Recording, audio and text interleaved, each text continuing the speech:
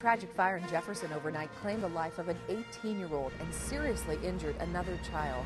We are waiting to hear more details on exactly what caused this overnight fire. Authorities say it broke out around 1230 this morning at a home in Jefferson. This was the scene just about an hour ago as fire investigators sifted through what remained of the home. It's located at 707 West Head Street in Jefferson. Right now, the name of the 18-year-old killed in the fire has not been released. A child was flown from the scene by air ambulance to Des Moines. Two adults made it out of the home, with one being treated for burns and smoke inhalation. Investigators are looking at whether some space heaters may be to blame for this. One firefighter says flames were shooting 12 feet from the back of the home when he got there.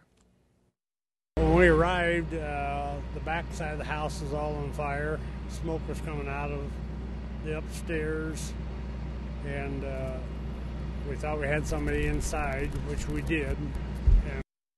Now, we'll continue to follow the story throughout the day for you. Look for the very latest later today on First News at 5, News Channel 8 at 6, and on our website, of course, kcci.com.